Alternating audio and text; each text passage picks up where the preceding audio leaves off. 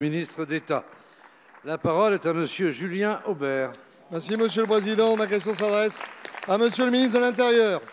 Monsieur le ministre, le gouvernement a décidé d'inscrire l'abbaye de Sénanque au cœur de ma circonscription sur la liste des bénéficiaires du loto du patrimoine 2019, ce qui va sauver ce joyau de l'art cistercien menacé d'effondrement, et je vous en félicite. Mais à quoi sert-il d'investir dans la rénovation si dans le même temps d'autres édifices chrétiens se font gratuitement vandaliser, profaner, souiller? Rien que ces derniers jours, citons l'église catholique Saint-Louis de la Robertsau à Strasbourg, la cathédrale Saint-Alain à Lavorne, l'incendie volontaire à Saint-Sulpice, très symboliquement la nécropole des rois de France, la basilique Saint-Denis, au lieu de la mémoire, qui a également été prise pour cible. En termes de statistiques, dans un silence assourdissant, ce sont ainsi deux églises par jour qui sont attaquées ou profanées dans notre pays. Ce n'est pas un sujet pour seulement ceux qui croient au ciel, c'est une alerte républicaine qu'il faut lancer sont en jeu la liberté de culte. Et en tant que ministre, vous avez le devoir de la protéger. Si les lieux de culte doivent être mis sous clé pour empêcher les déprédations, que reste-t-il de cette liberté? La protection de notre patrimoine, ensuite. On parle ici de bâtiments de la nation. Comment expliquez-vous que nous ayons pu protéger nos églises pendant des siècles, qu'elles aient pu traverser les guerres de religion, la révolution, des guerres mondiales, et qu'aujourd'hui la République ne soit plus capable d'enrayer ce cycle de dégradation? C'est bien l'autorité de l'État qui est en cause, et vous devez mettre un terme au pillage sur les Champs-Élysées comme dans les églises de ce pays. D'autant que je m'interroge sur la nature politique de ces attaques, qui concordent également avec des profanations de cimetières chrétiens. L'antichristianisme qui se propage est une volonté de déconstruction de notre histoire et de nos cultures. Solzhenitsyn disait Afin de détruire un peuple, il faut d'abord détruire ses racines. Alors, monsieur le ministre, quelques questions très simples.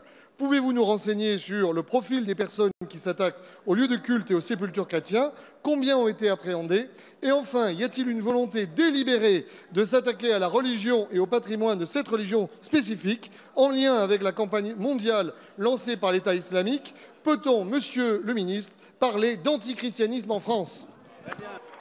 Merci, monsieur le député. La parole est à monsieur Christophe Castaner, ministre de l'Intérieur. Merci, monsieur le président, mesdames, messieurs les députés, monsieur le député Aubert.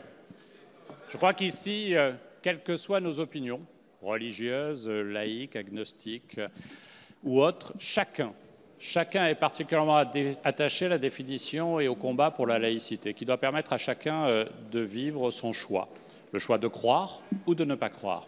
Et chacun ici euh, est attaché évidemment à notre propre histoire, à notre patrimoine, et en particulier au patrimoine chrétien.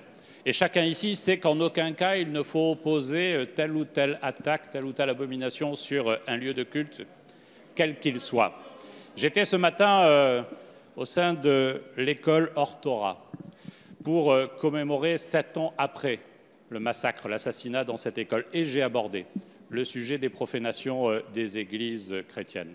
Parce qu'effectivement, cela nous atteint tous, et qu'il s'agisse d'une mosquée, qu'il s'agisse d'une synagogue, qu'il s'agisse d'une église, qu'il s'agisse, comme à Tarbes, d'un lieu d'activité pour des francs-maçons, ce sont des attaques sur nos valeurs.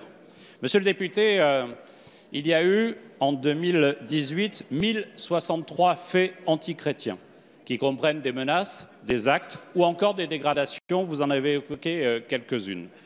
Et les hasards de calendrier fait que là encore, il ne faut pas chercher à opposer telle ou telle pratique religieuse. À l'heure où j'étais, euh, sur euh, le lieu de rassemblement pour euh, la mémoire d'Ilan Halimi, c'est au moment où justement, et je réponds à votre question, nous mettions en arrêt ceux qui avaient vandalisé l'église de Maison Lafitte. Monsieur le député, il est essentiel que nous nous mobilisions et nous mobilisons tous ensemble. 3 millions d'euros ont été consacrés à 95 projets de sécurisation de lieux de culte chrétiens depuis 2015. Des échanges réguliers se tiennent entre les forces de sécurité et les représentants des différents cultes. Enfin, la plateforme Pharos a traité 14 332 signalements relatifs notamment à des questions religieuses, avec systématiquement des instructions données et des sanctions et des instructions judiciaires et des sanctions judiciaires sous l'autorité de la garde des Sceaux.